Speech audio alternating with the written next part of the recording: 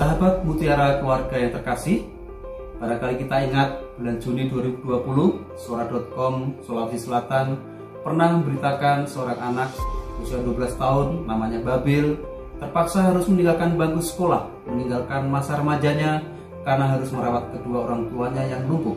Berita ini viral dan setiap orang yang mendengarnya sangat tersentuh betapa besar perhatian dan cinta anak ini kepada orang tuanya.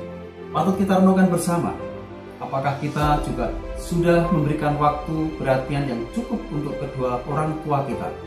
Dalam Injil Markus, Yesus mengingatkan kaum Farisi bahwa mengabaikan orang tua bertentangan dengan hukum Allah. Karunia besar pertama kita adalah bahwa kita hadir di dunia melalui kedua orang tua kita. Maka jangan sampai kita terlalu sibuk sampai kemudian melupakan kedua orang tua kita. Semoga Tuhan berkati kita. Salam sukacita kasih.